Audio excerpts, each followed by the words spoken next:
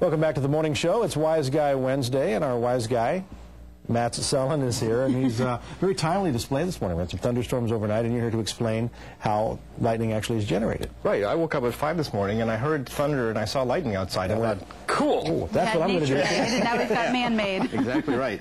And so it all has to do with separation of charges. And you might remember from school that, that uh, like, like charges attract each other. Right. And, uh, I'm sorry, like charges repel each other and unlike charges attract. And so if you have a bunch of positive charges in one place and a bunch of negative charges in another place, they'll tend to want to jump from one place to the other to get together. And It's that's like the north and south poles on a magnet. Yeah, and so what happens if, if you walk across the carpet in your stocking feet in the wintertime and you grab a doorknob, you sometimes feel a little spark. Mm-hmm. Mm-hmm. Well, what's happening as you rub yourself against the carpet is you're, you're getting yourself all charged up, so maybe you're all positive, and the doorknob might be all negative, and you get a little spark where those things try to get together. And that's what happens up in the clouds when, when you have lightning generated But bigger. But much, much, much bigger. and in fact, lightning is, is hotter than the surface of the sun, it turns out. I was reading up on this stuff last night. And also something I didn't realize was people don't quite agree on how this charging mechanism works inside the clouds themselves. Right. Is that correct? You're- Yeah, there's different schools of thought. Uh, mostly it's the, the the ice crystals is what I Right. always understood.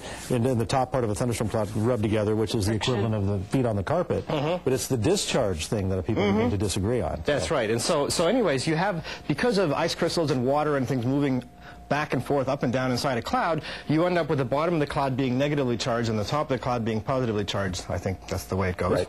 And, uh, and then you have, you can have sparks jumping within the cloud itself, or you can have sparks jumping from the bottom of the cloud down to the ground. And these, of course, are huge sparks. Yes. And so we Show can, we can do. we can do that right here. So here we have a device called a Van de Graaff, and it's just a rubber band that goes round and round, and sort of using friction, basically, it moves charges up and deposits a bunch of charge on this top thing. Mm-hmm. So you will end up with a bunch of positive charges here, negative charges down there.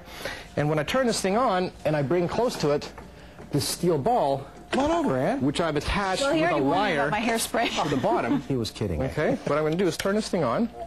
If you can get sort of tight on that, you'll see sparks. What's happening here is that we're putting a bunch of positive charge on this big sphere, and we have negative charges on the little sphere, just because it's attached to the bottom of this thing with a wire you can't see. And you see the sparks jumping across on this thing. And so you can actually get millions of, of volts generated between the positive part and the negative part on this very easily. Uh, even on this little machine. Oh, millions. Many, many. Yes, yes. It takes tens of thousands of volts per inch for a spark to, Right. get- to jump. And so this thing can throw very long sparks.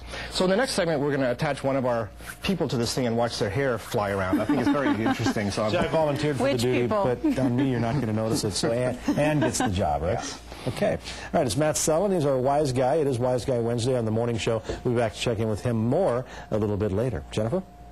Timely for us, too.